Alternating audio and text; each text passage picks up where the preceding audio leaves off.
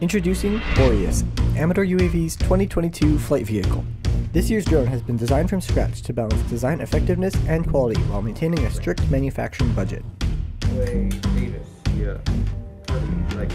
I'm Kalyan Sriram, President and Team Lead of Amador UAVs, and welcome to our FRR for the 2022 SUAS competition.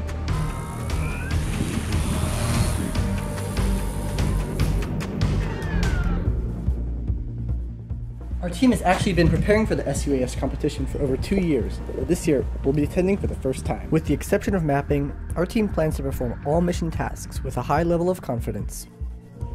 But first, some information about our drone. It is a coaxial octorotor, and we chose this design because we needed eight motors for redundancy and extra thrust so that the motors would run at lower RPMs, so they'd be more efficient.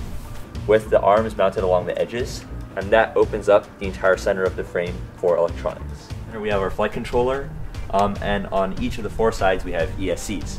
Onto these four standoffs will go our battery plate. And on the underside we have our auxiliary plate. All other um, peripheral devices like the servo release here, and in the future our gimbal will be mounted onto the auxiliary plate. Our team's developmental testing began largely in the summer of 2020, with various mission tests containing waypoint navigation, imaging, and payload drop tests on our known good drone system, Macron. Macron's onboard hardware effectively reflects Boreas' current configuration, where we've gathered nearly 100 hours of sustained flight time for system reliability. During our team's build meetings, our team chose to perform motor thrust tests on our test stand to characterize performance and ensure in-flight reliability. So this will ramp from uh, one zero to 1,000. What we're doing right now is we're running this motor on the motor test stand. So this one has had like a little bit of misalignment issues, I think. However, through our testing in the field and on the stand, we discovered our first choice of motors was unreliable due to a critical motor shaft breakage issue due to lateral forces induced by wind, an unacceptable risk in production. As a team, we decided on an alternative, T-Motor MN601S 170 kV motors, which have performance characteristics nearly identical to our previous Zor motors. Additionally, our team also utilizes 3D printing to facilitate iterative design for all of our custom components. While we performed multiple manual flights before sending the drone on autonomous missions, out of the 10 fully autonomous missions we performed, there was no time spent in manual mode. Prior to flight, we calibrate all onboard accelerometers, magnetometers, and gyroscopes. Autonomous flight characteristics, such as maximum speed, tilt angle, ascent and descent speed are preset before each mission. Extensive tuning of PX4's PID controllers and filters was conducted to ensure optimal performance of Boreas. We utilized PX4's new auto-tuning feature to get a baseline tune of the rate controller. We then further applied small manual adjustments of the rate and altitude controllers to improve responsiveness. We analyze all flight logs with PX4's flight review tool, which allows us to visualize the tracking accuracy of each controller. PX4 Flight Review additionally runs a Fourier analysis on the drone's angular rate and acceleration data, allowing us to view the vibration profile of the airframe. Using this, we tuned PX4's low pass and notch filters to effectively attenuate vibration and enable smoother flight characteristics. We ran a multitude of missions on Boreas, both simulated and in real life, measuring various data to verify our mission path planning system. Using PX4's flight review tool to analyze the flight logs of each real-life mission, we were able to conclude that our system hit 73 out of 73 total waypoints with a mean waypoint error of 0.9 meters. We avoided 20 out of 20 total obstacles with a minimum obstacle clearance of 3.4 meters and traveled a total distance of 2100 meters. The pilot simulation results further validated the efficacy of our missions with even more data. 465 out of 465 total waypoints hit with a mean waypoint error of 0.4 meters, 90 out of 90 total obstacles avoided with a minimum obstacle clearance of 5 meters, and a total distance of 50.5 kilometers traveled. The pilot path planning system was stress tested against various edge cases, such as overlapping obstacles, obstacles covering entry points to surveys, and unavoided paths going out of geofence, to ensure that virtually all of them were handled. These were then further validated on both simulated and local tests. We also ran hover tests to measure waypoint accuracy for hold maneuvers such as the airdrop task, verifying that our system can hold position to within a meter of accuracy. Our pilot path planning system works by taking the mission map and projecting it to a Cartesian grid, allowing us to work more easily with the data geometrically.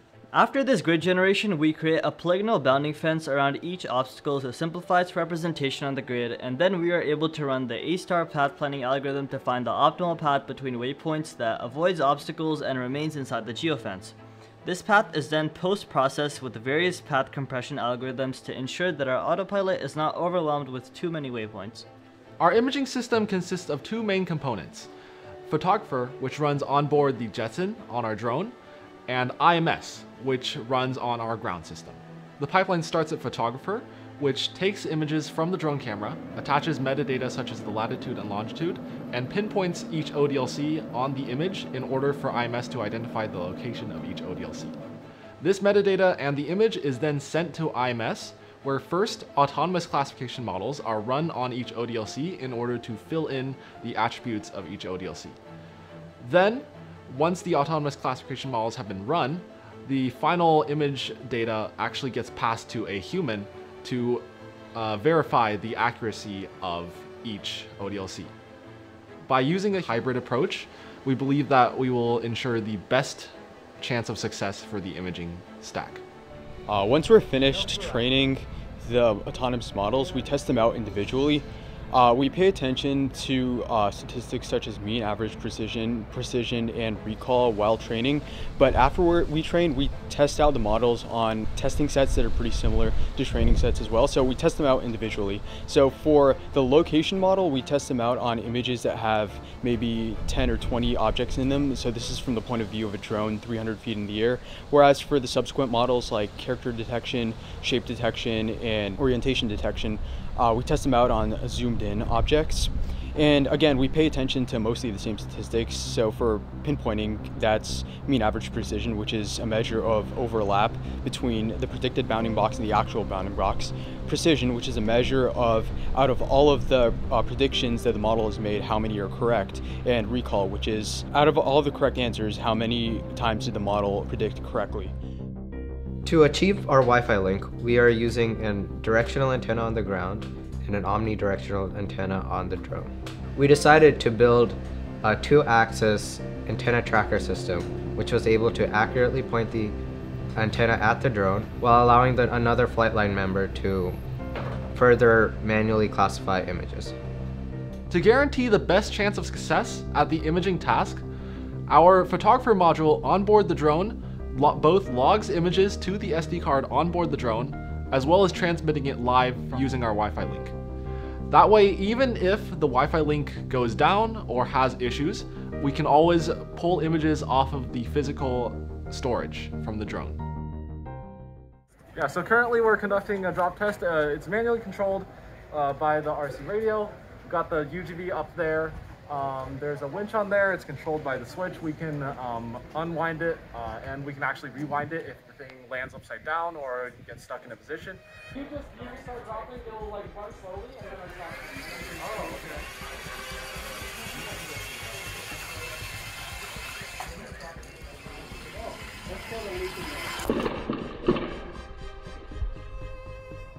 So the results from these tests were um, that rheostatic braking was turned out to be pretty inconsistent.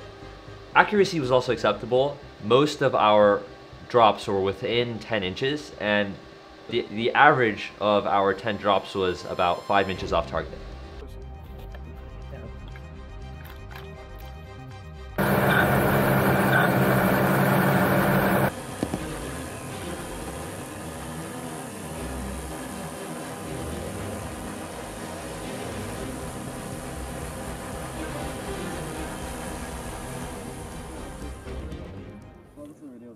So we're out in the field here, uh, one of our flight test days. So today we're going to be trying a full integration test, um, dropping the payload, um, UGV, antenna tracker over there, and then also doing a full ODLC mission and seeing if we can do everything.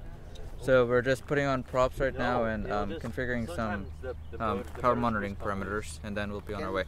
The partial tests we performed focused on testing the capabilities of Boreas to fly missions, utilizing our pilot system to generate paths from interop missions and testing Boreas's capabilities.